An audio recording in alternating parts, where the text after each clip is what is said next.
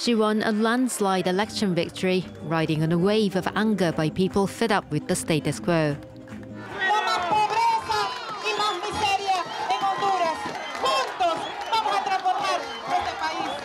But Xiomara Castro's presidency is already fraught with trepidation even before it starts. Honduras' Congress is in crisis over who should lead the legislative body. Last week, around 20 lawmakers from her own Libre o Freedom party defected in opposition to Castro's choice for congressional leader. She picked a lawmaker from another party as part of a deal with Salvador Nasralla, her former rival turned running mate. Those rejecting this picked one of their own by aligning themselves with the right wing National Party of the outgoing president. On Tuesday, rival groups held separate sessions, one in the chambers of Congress, the other over Zoom.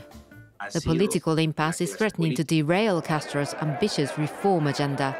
Encuentra un país no solamente fracturado políticamente, sino que con múltiples necesidades eh, en materia educativa, de salud. Eh, recibe un país con niveles de inseguridad otra vez en crecimiento. On the street, hopes are still high that Castro will bring serious change to Honduras.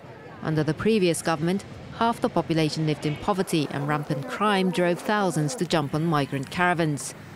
Outgoing President Juan Orlando Hernandez has faced accusations of institutional drug trafficking and corruption. Although he has not been charged with crime, his brother has been sentenced to life in prison by a US judge.